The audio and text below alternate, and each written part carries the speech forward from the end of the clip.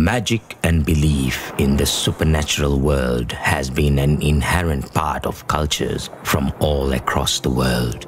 Our ancestors have also practiced a form of magic unique to these isles and oceans whereby they utilized talismans such as coconut shells and sperm whale teeth. Magic permeated almost each and every aspect of their way of life, from rituals that accompanied boat building to fishing to harvest and even sailing.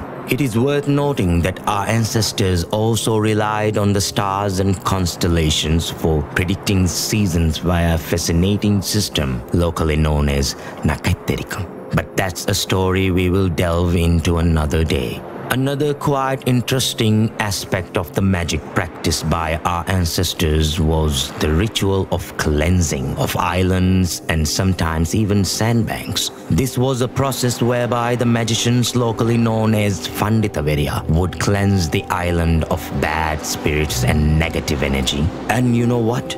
Maybe that feeling of utter wonder, bliss and relaxation we experience lounging on a sandbank or pristine beach of Maldives might very well be in part thanks to those arduous cleansing rituals of the Maldivian magicians of law.